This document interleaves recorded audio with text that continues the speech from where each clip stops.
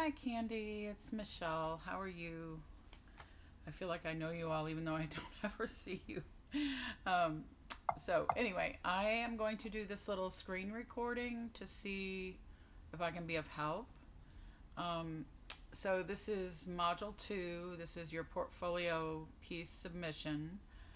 And um, let me see, it will not let me change where I am on this page. Ah. Ah, here we go. Sorry about that. You can see that we instructors have fun with Blackboard too, just like you do. okay, so this um, is your second portfolio piece, and you may have noticed that in the portfolio you have something called resource collection items. So for this particular resource collection, I have seen probably hundreds of binders with these in them, and when I score them, I am looking for them to be activities that number one are appropriate to the age of the CD you're going for. So if you're doing infant toddlers, this should be very simple things that you would do with infants and toddlers. Very simple things, not complicated activities. And if you're doing preschool, still simple, um, maybe a, with a little more materials, but still very simple.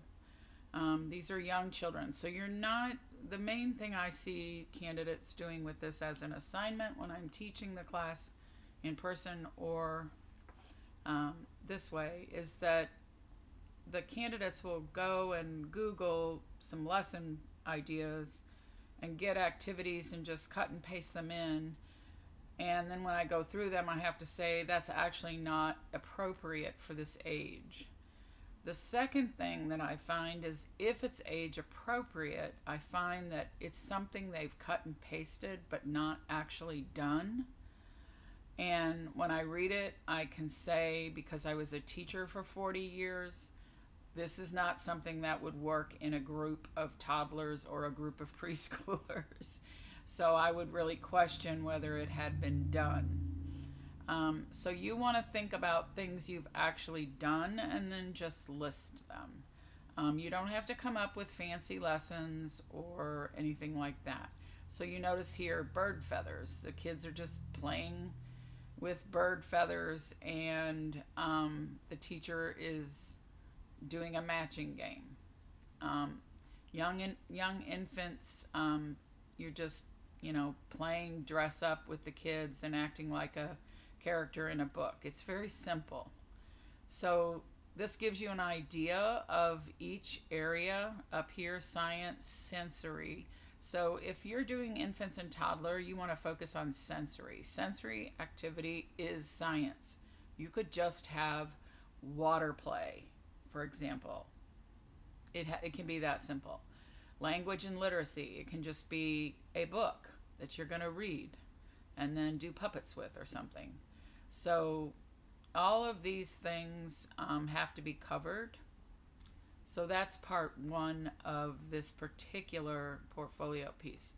Then you're going to go back over into um, your competency statements, and that's part two here. So you might remember you had to write a statement. These competency statements are really just that. When I read them in your portfolio, I want to know that you can state something that allows me to know that you are competent in this area. So you would choose one of these from your collection and then say, how does this experience reflect your philosophy of how to support young children's development physically? And then cognitively, and then creatively. Um, and then at the very end, you're going to do a, um, again, I'm trying to get this to move and it will not let me. So, um, but you can see down below, it asks for an additional paragraph about um, dual language, language learners and communication. So you really are just first showing the activities and then showing how they reflect your philosophy. So it's really good if you've actually done these things that you're listing so that you can say, I did this to support, say you're doing water and physical development. You know, how does that support your philosophy? Well, if your philosophy is that children need to um, be hands on with things in order to develop properly physically, then that would fit your philosophy.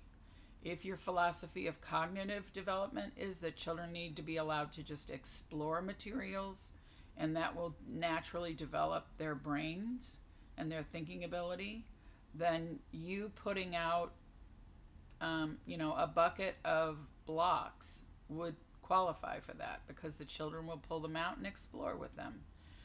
Um, so I'm hoping this helps you a little bit. Let me know if not, um, and I'll keep trying.